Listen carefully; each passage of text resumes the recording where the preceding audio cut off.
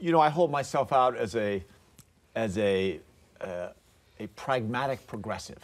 And pragmatic doesn't mean that you don't take on big challenges. It means you figure out how to get them done. And I think if we're going to deal with climate change, we've got to be laser focused. The Green New Deal, I admire, I embrace the sense of urgency, but I don't think you're ever going to get out of Congress if part of that, of that urgency includes a guarantee for a public job for every person in America.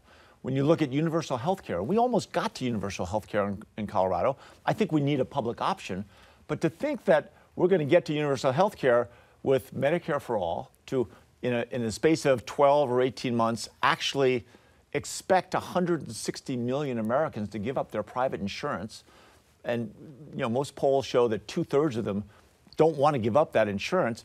Again, that's not going to succeed in this country. I think we've got to be focused on actually, and maybe this is my history of actually having gotten stuff done, but we've got to be focused on what is going to work and stay very, very clear that A, B, C, D, here's how we're going to get to universal coverage. Here's how we're going to address climate change. You know, go down the list. We run the risk as Democrats that we could end up helping to reelect the worst president in American history. I think he's Uh, that's a high probability he's going to go down as one of the worst presidents we've ever had. And we could end up reelecting him.